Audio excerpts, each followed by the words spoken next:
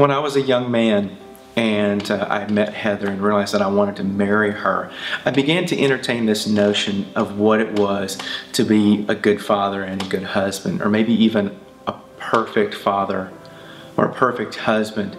You know, I, I, had great examples in my life. My grandfather was a soldier in World War II, grew up in a small town married to my grandmother for more than 50 years before he passed, raised three children in the post-World War II era, uh, and was just a great example of love and faithfulness, and I'll never forget that. My father, likewise, an incredible example of faithfulness. Never once did I ever doubt his love for me, my sister, or my mother. He's a pastor in Arkansas, uh, and I love him dearly, and he imparted so much into my life. I am what I am today because of him.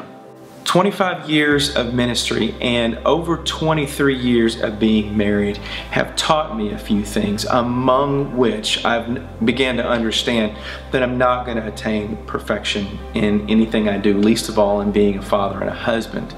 And that my best shot at being a good one is not even in trying to follow the example so much of my grandfather and my father, but on a journey and a quest to be more like Jesus. And that's really what they taught me. They didn't teach me so much how to be a good father the way they did it. They really taught me what it was to follow Christ. One of the things that I have recently sort of had to embrace as my children kind of begin to get older uh, is this idea of fallibility and understanding that I'm, I'm not going to always do things right. And that being right as a parent is not even always the best position to parent from. Few things have humbled me uh, like the situation that occurred between me and my daughter uh, several months ago.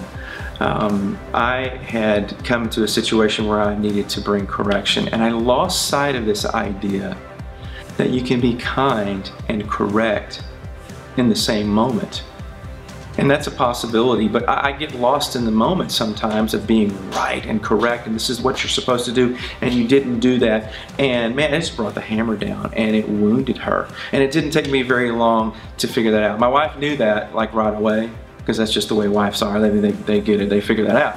And my daughter knew that, but it took me a little while to kind of figure out that, man, I had really sort of overstepped that bounds and had to go back and uh, just come before my daughter and just apologize and tell her that that was not Christ-like. That wasn't the way to do it. And being right at that moment was not what that relationship and not what that situation needed at all. What it needed was a fallible parent coming and getting down uh, on his knees before her and just saying, look, I'm so sorry. Being right didn't give me the right to, to be rude and to bring the hammer down the way I did. And I had to make it right with her.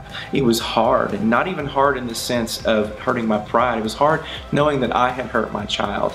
And she was so gracious and forgiving. And our kids are that way. They're so ready to be led and loved and not lorded over. And I find sometimes that the best thing I could do is not to be right. The best thing I could do is to shepherd the heart of a child to love and to pursue Christ.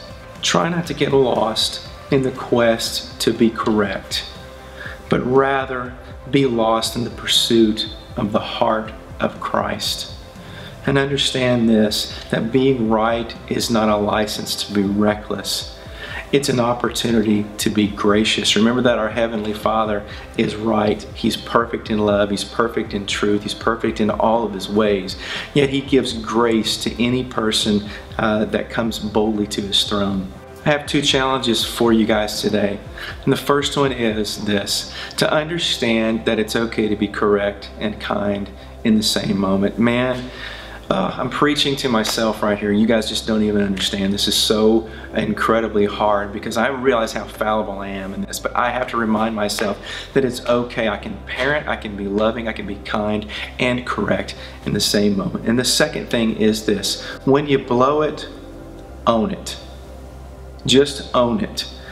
Be fallible before your children. It really is okay. Watch the forgiveness and the love and the bonding and relationship that comes when you come before your kid and they understand that you've blown it. You just go and actually own up to it. I pray for you this week. I pray that God would give you opportunities to be gracious to your kids, to guide their hearts, to love them in the pursuit of Christ rather than just being correct. Love you guys. I'm praying for you this week. Have a great one.